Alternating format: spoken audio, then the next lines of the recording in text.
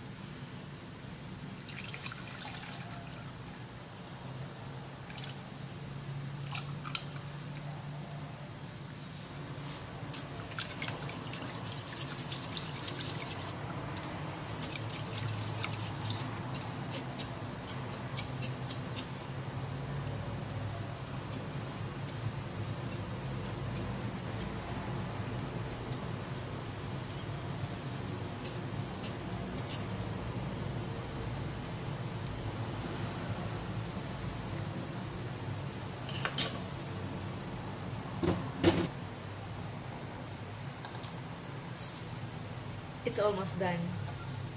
So, habang inaantay natin itong caramelized sugar natin, maglagay po tayo ng butter dito po sa ating molder. Just a little bit of butter. Ibabrush lang po natin siya.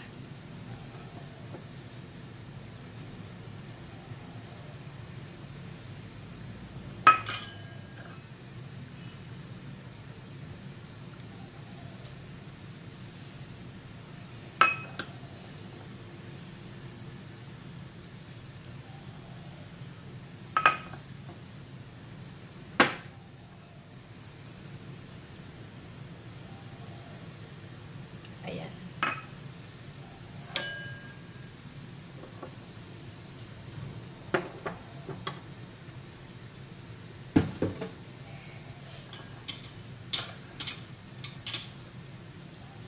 So, yung sugar po natin.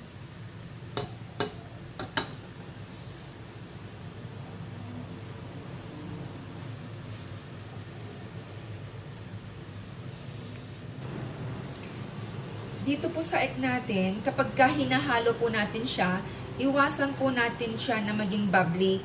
Kasi kapag ka bubbly ito, hindi po maganda. Hindi po maganda yung texture niya. And even pagka nag steam po tayo, kailangan maba inalow heat lang po. Otherwise, kapag ka mataas po yung, yung apoy, masyadong malakas yung pag-boil ng tubig, doon po nagkakaroon ng bubbles sa ating leche plan. There we go.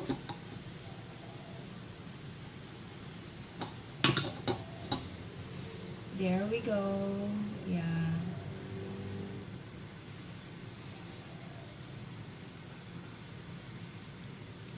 Okay. Okay. Okay. So I think that's enough.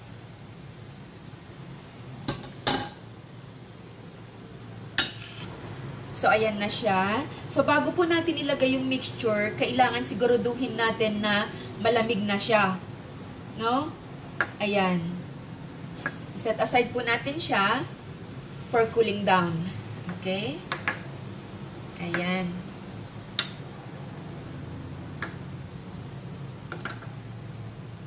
So, ito ang gagawin natin.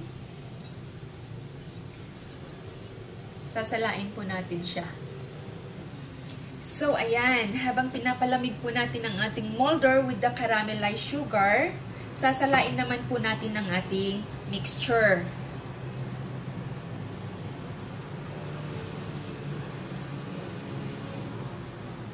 There we go. Okay.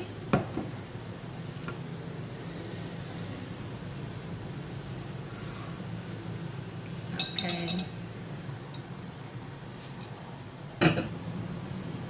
Ayan.